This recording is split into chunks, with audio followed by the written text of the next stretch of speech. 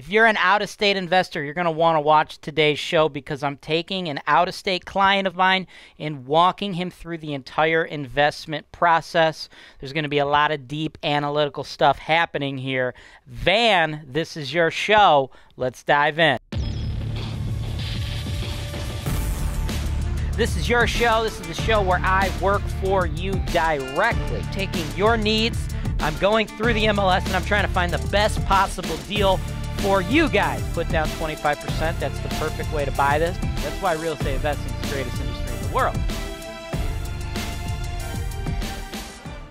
Hey, folks, welcome to another episode of the MLS Search and Analysis Show here on Holton Wise TV. I'm James Wise. I'll be your host. And uh, as I said at the top of the show, I'm working with my man Van. He's an out of state real estate investor, and I'm going to be walking him through the investment process in Cleveland. So if you're a new real estate investor, you're going to want to uh, pay attention because you're probably going to learn something, right? Van, you and I, we've done a few properties together. And another one you wanted me to look at is this one right here 937 Whitby Road, Cleveland Heights, Ohio. But we're not going to look into this one uh, today, as a matter of fact. I really don't want to look into this one for you. Couple reasons. Number one, when I got to it, it was already showing contingent. Okay, that means it's under contract. Now, Van, you've been looking at properties and sending me properties you want me to do for you. I think I can help you out here because this is probably the second or the third one that you've sent me that's actually not available, okay? I think you're looking at like Zillow or Realtor.com for your properties. Stop doing that, dog. Don't do that. Let me help you out, okay? You're getting the data too slow, okay? Those websites, what it is, is they aggregate data from the MLS, from brokers like myself, but it takes a few days. So the information's outdated. So if you go to HoltonWise.com, click the property search for sale tab, everything's going to be on that screen for you guys, okay? Scroll all the way down past the shows. Click here for MLS access, right? I've got my direct MLS access available for you guys, okay? And I, I got I got all kinds of good stuff in here. I got goodies, man. I got seller finance deals, okay? So if you want seller finance single families, boom. The moment one of those hits the market, you guys get the data. So like if an agent puts it on the MLS at four o'clock, you get it at four o'clock, not three days later from Zillow. Likewise, sorted out multifamily properties, right? Apartment buildings. And then if you guys are looking to do flips, I've sorted it out for homes that would be uh, the homes you would typically target for flips. And I've also broken it all down by the, the grading scales, your A, B, C, D, F class neighborhoods, things of that nature, right? So van, I think that's what you need to do, right? It's very cheap. The packages start at like 10 bucks. Uh, a lot of them are like 30 bucks, depending on what you get, right? So I think you need to do that, right? Because I think your data your data is going to be uh, going to be more updated. Okay, so this particular home.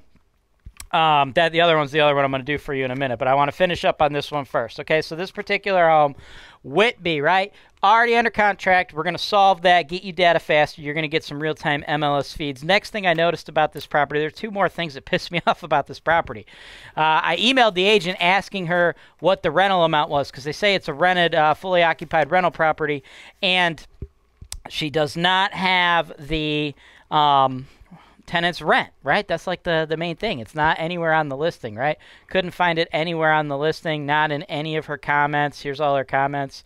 You know, telling me all this stuff about the house, about the laminate flooring, about the dishwasher. Dude, Great, you got a dishwasher, lady. That's cool. But like, there's a person living there. How much rent are they paying? That's what matters, right? So I emailed her about that and never got a response. Now, I mean, the property's under contract, so perhaps she doesn't really care because she's already got a buyer. Okay, that makes sense.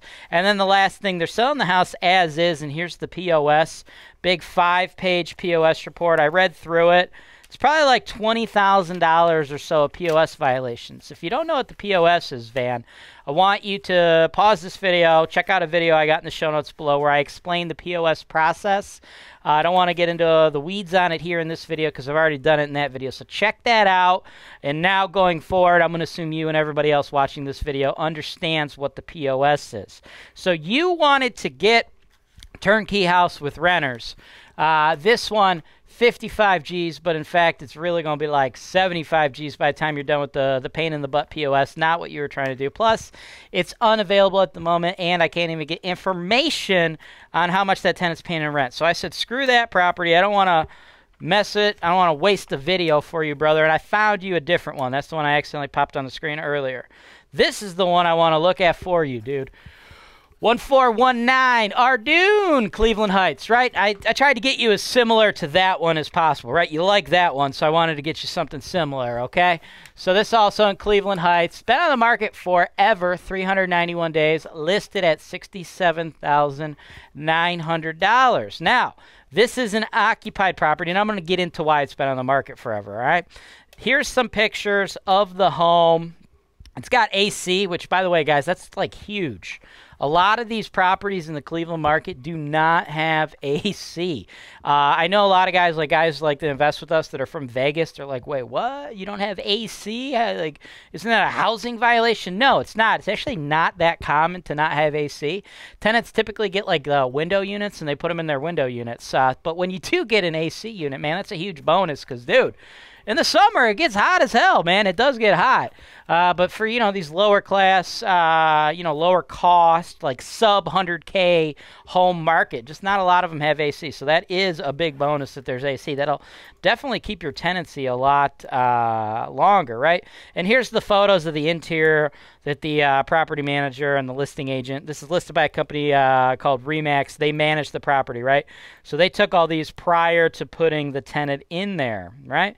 Pretty decent, right? We got, you know, kind of gray walls everywhere. I don't like the fact that we got carpet, but, you know, at least they went in and they put a, uh, a dark carpet. Now the kitchen, it's dated as all hell. The floor's pretty cool. That looks like a newer vinyl floor, but I do not like the 1980 faux brick, and I don't think the appliances match the cabinetry, but, you know, it is what it is. We already got a tenant in there they're already paying rent, right? As far as what that tenant is paying, they're paying nine ten a month, right? So ten thousand nine hundred twenty dollars is going to come in.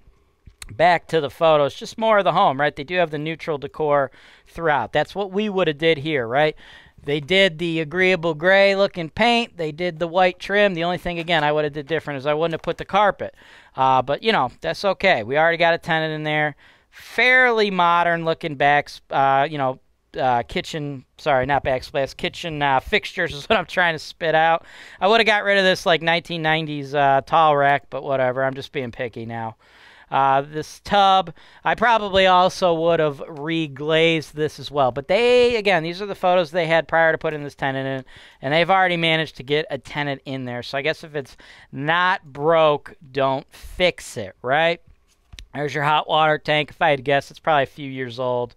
And then other than that, updated electrical. You know, the house looks pretty good, right? Pretty decent home, right? Pretty decent shape. Tenant's already paying 910. That is a decent chunk of rent. If 910 comes in, brother, I anticipate you spending an average of 608 a month, so that leaves you with an NOI of 302 or 3624. Now, as far as cost goes, I'm gonna think you're gonna have to pay list price, right? Just uh, you know thinking you're going to get a home in Cleveland Heights that's like got a tenant and it's 50k. It's not not practical, bro. Not going to happen. 67,900 is probably the right price for this property, which may lead you to wonder why in the hell it's been on the market for 391 days. Give me a memento, I will get into that. Just quickly, I want to go through the numbers for you before I get into that. If you paid 67,900 with the tenant in there right now, that's a 5-3 cap. You financed it, you'd only need 16,975 down, which would result in a 6 0.2% cash on cash return after you paid your mortgage. Right after you pay your mortgage, you're clearing 88 a month, which is nice. You're really usually a lot of people are trying to clear 50 bucks a door. You're clearing 88 a door, uh, $88 a door, which is great. Another thing, uh, the pure market rent for this home is higher. Okay, they got to rent it at 910, but I kind of nitpicked the renovation a little bit, right? They could have did some things better, right? The the bathroom could have been better, right? They could have reglazed the whole tub surround. They could have got rid of the old 1990s ta- uh, towel rack, right? The kitchen could have been better. They could have got rid of that faux brick, right? So if they really would have banged out the right renovation, like they came close. I liked it, but if they did it, they went one step higher. They should have been renting that house at a thousand bucks a month. So this thing is going to be clearing an average after the mortgage of 88 a month, but you can more than double that if you get it to market rent. So going forward, eventually you're going to turn it over, get new tenants, right? So you make a few changes, right? You'd update the bathroom, you'd update the kitchen, you'd remove that carpet so your your next turnovers are always cheaper, right? Those are the things you could do to really increase that cash flow, right? So all in all, good property. Now, back to the question I keep asking. Why in the hell has it been on the market for 391 days? It's because of this piece of paper that I'm holding in my hand. It's another situation with the POS. Now, I don't want you to do the POS, right? With this particular, the other property that you were interested in, you'd have to do the POS. The seller made it clear they're not going to handle the POS. The buyer has to do it roughly 20 G's. Five page POS.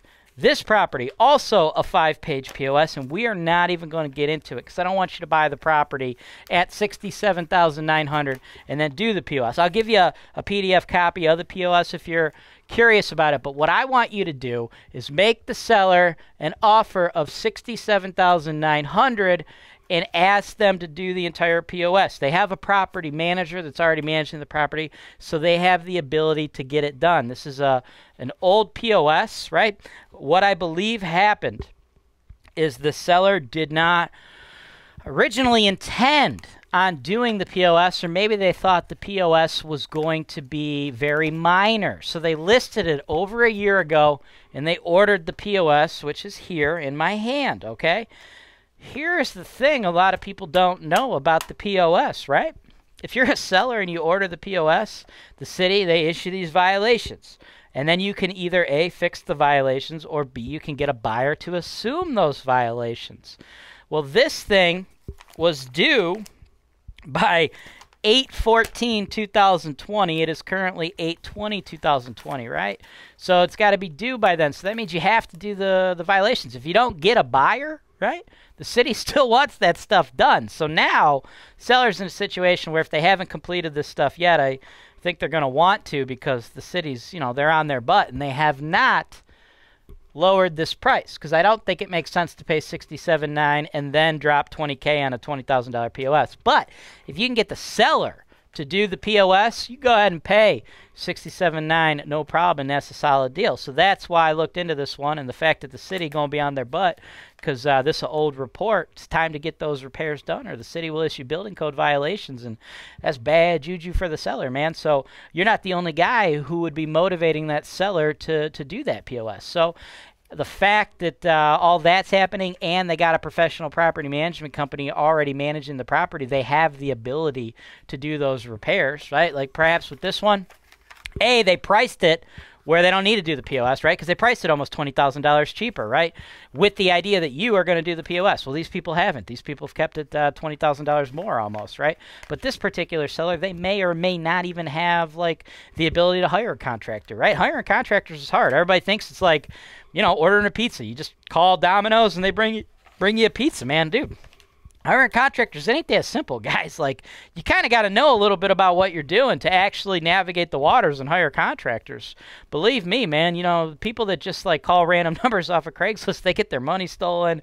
Contractors screw their house up. I mean everybody that swings a hammer is calling themselves a contractor these days. So you really got to watch out. It's, it's very very tough uh, to get contracting work done in properties in the rental neighborhoods here in the cleveland market. So all that is food for thought for you van but uh, yeah, that's why I switched your property and I wanted to send you this one. So I've given you pretty much everything I got on this. I've given you the plan I think makes the most sense for you. What you got to do now, reply to the private link, brother. Let me know. Let me and my team know. Do you want to try to move forward? Do you want to try to get this property or do you want to say, hey man, I don't know if I want to get into that. Let's adjust. Uh, let's adjust again, and let's go do something a little different on the next video. You just let me know. Everybody else, if you like this level of analytics, you like this level of service, uh, which I didn't even get a chance to tell you. By the way, Uh, as far as what Van would do after purchasing this property, guys, Holton Wise, we could also do the property management. Like this property is being managed by somebody else, but Holton Wise, we can handle everything for you after closing. We can handle the property management. We could even handle the insurance and the title work. So it's top to bottom solution, right? So I give you all this education as a fellow investor, as a fellow real estate broker, and then after you close, I could take care of it all for you, right? But it starts with education and it starts with me, you know, making sure you buy the right property at the right price. So if you're interested in that, go to HoltonWise.com, property search for sale tab, click the MLS search analysis show. Work with me the same way my man Van is doing. I recommend you get the multi property packages like he did because we've already looked into several properties. And every time I do a video for Van, he, he gives me feedback, let me know, like, hey, man, Thank you, brother. That's something I didn't think about. With that in mind, let's shift gears. Let's go here. Let's go here. Let's go here. If we got to do four, five, six, seven, eight, nine, ten videos before we get to the right property, hey, man, that's cool. Because what if not doing those 10 videos allowed you to try to make a move on a property and you made a hundred thousand dollar mistake by buying the wrong property, right? That'd be terrible, right? So it's a learning process, right? trying to educate you on the market, on how things play out in the real world, along with putting you into the right property, right? Because I don't think there's necessarily bad properties. I just think there's investors uh, who end up with properties either at the wrong price or they're the wrong investor for the property. So I want to match the right investor with the right property at the right price. That's what I do. So if you guys are interested, get a package. That's all I've got for today's show. If you're a new viewer, do yourself a solid and smash that subscribe button because Holton Wise TV is real estate investing made easy. This is your show. This is the show where I work for you directly, taking your needs. I'm going through the MLS and I'm trying to find the best possible deal for you guys. Put down 25%. That's the perfect way to buy this. That's why real estate investing is the greatest industry in the world.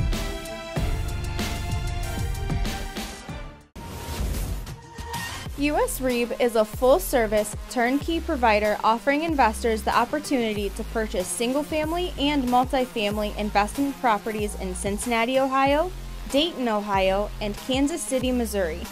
The purchase process is seamless, from reserving a property to obtaining financing, inspections, and insurance referrals. US REIB has a dedicated team in place to manage the process from start to finish.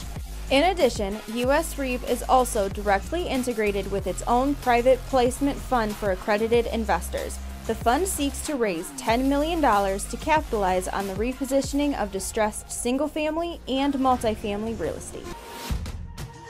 Rentec Direct provides you with an easy to use yet robust platform for managing your properties, complete with its built in reporting and accounting system that can be customized to fit your business. For property managers, you get advanced features like simplified owner distributions, automated management and placement fees, an owner portal, plus the software is certified for trust accounting. All this comes backed by the highest rated customer support team in the industry, certified by third parties and ranked number one by our clients year over year. You get unlimited free access to our US based support team by phone, email, and chat who will help you getting started or anywhere along the way. G'day everyone, it's Angela Remora here, your favorite Australian and the founder and owner of Ohio Cashflow. Over the last five years, Ohio Cashflow has established itself as the most reputable turnkey real estate investment company in the country. We offer solid B class properties in Toledo, Ohio. We work and live in the same areas that we sell in so when we sell your property, your tenants become our neighbors. We only take on a handful of investors every month. So for your chance to work with one of the best in the business, please fill out our investor application form, which you can find in the video notes below. Thanks for listening. And as we say down under, I'll catch you later, mate. Is that it? Yeah, we're done. All right, cool.